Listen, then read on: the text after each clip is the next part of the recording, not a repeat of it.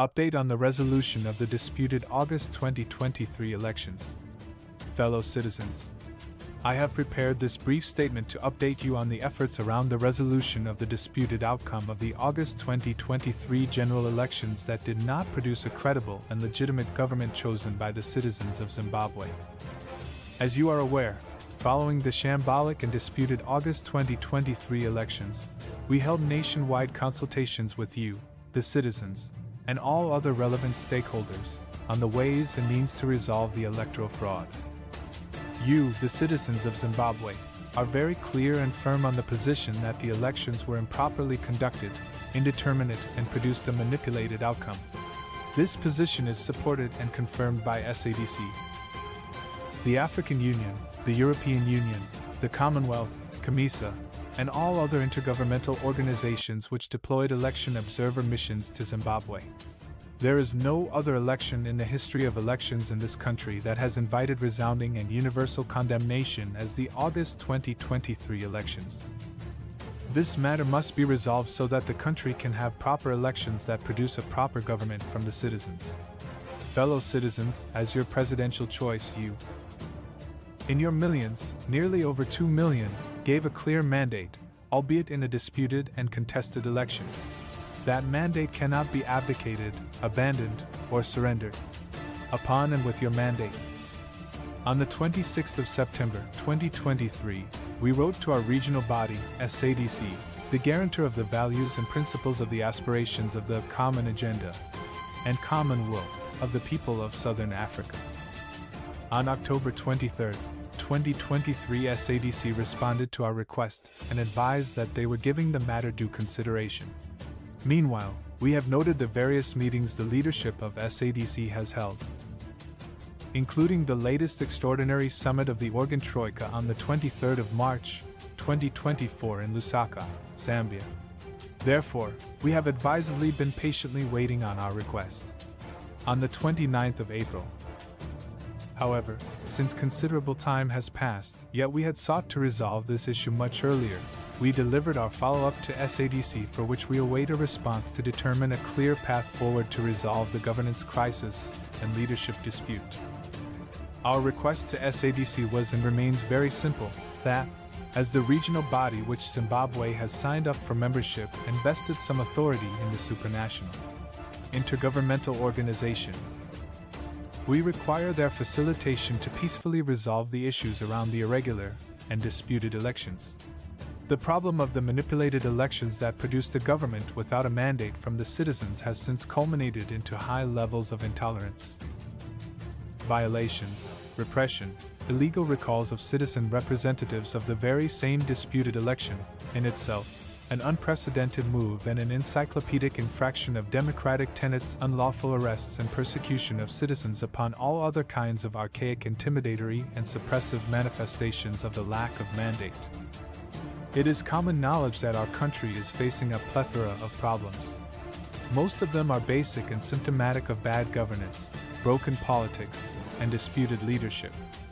We have a tanking economy, systemic corruption, 49% of the population living in extreme poverty, USD dollar 1, 8 billion lost to looting annually, 100 million US dollars worth of gold smuggled monthly, galloping hyperinflation. Half of the population that is food insecure, over 3 million Zimbabweans forced to migrate, 89% unemployment, and disputed national processes and elections. Only a legitimate government chosen by the citizens has both the confidence and mandate to deliver on their necessities and demands. You voted for a government that would deliver healthcare, energy, water, jobs, stable currency, quality education, and other basic services. You know why you voted for change. The current challenges of failing to resolve the huge national debt. High inflation, currency distortions, drought, starvation, poverty, poor income, the hostile political environment, an air of sadness and brain drain are all symptoms of a government without a proper mandate. Zimbabwe's challenges are a direct result of the lack of legitimacy and mandate to govern. A truly elected citizen government is the solution for good governance and service delivery. We reiterate this point to SADC, the AU, and indeed to the international community, that it is untidy and untenable to sanitize or fertilize theft of elections and electoral malpractices by turning a deaf ear and casting a blind eye to matters of gigantic electoral fraud. Such is an affront to the Africa we want.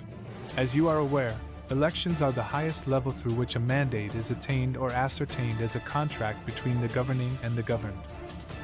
No government can justly claim authority to govern unless it is based on the will and consent of the people. On that score, none must be allowed to come into office through the back door. The window, cohesive means or command antics and tactics. Our regional and international institutions cannot condemn a process, and yet condone it, and ultimately endorse it. It would be a contradiction in terms. To determine a process as flawed and yet condone its outcome. Fellow citizens, may I hasten to say, the following an exhaustion of available remedies and peaceful means to resolve national issues is not a manifestation of weakness or that we are devoid of other ideas and means. It is our strict commitment to finding each other and amicably resolving our points of conflict, disjuncture, and disagreement. We have committed to a peaceful resolution of disputes and intend to exhaust all available peaceful remedies. As you are all aware, millions of you agree with this approach. Zimbabwe is too beautiful and precious to be destroyed by flames of political disputes under our watch. Peace is fragile. Peace is sacrosanct. And the breakdown of peace knows no winner. The opposite of peace leaves us all losers.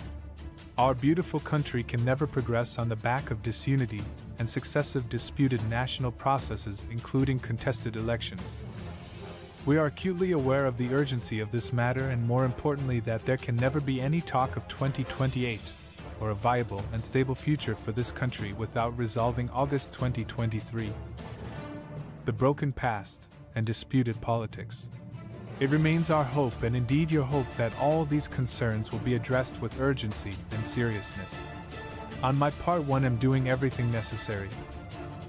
To the extent of God's will, to seek a lasting solution to the perennial challenges affecting our beloved country. Locally and nationally, I have engaged all the stakeholders, including the traditional leadership, business leadership, civil society at large, political parties, and members of the diplomatic corps.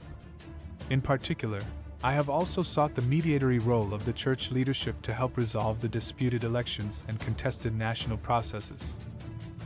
Albeit with handicapped progress, I have even numerously effort engagement with the other presidential contender, and he is aware of our point of dispute and the proposed way forward. We have also developed and shared our roadmap with all key stakeholders, which paper we are ready to make public in due course. We have engaged different stakeholders within the SADC region. At heads of state level, I have engaged leaders through delegations that I sent to the various capitals of the region and the continent to brief esteemed excellencies about the election dispute, the political stalemate, and our proposed way forward. I therefore urge you to take an active role in peacefully determining the destiny of our country. I exhort you, fellow citizens, the intercessors, and the Church to continue to pray for a smooth and peaceful transition in our country. Stay the course, hold the fort, hold fast, and stand involved. Stand ready. Change is upon us. Hashtag for everyone, hashtag got us in it. God bless you, God bless Zimbabwe. I thank you. Under my name and hand. Nelson Chamisa, your servant.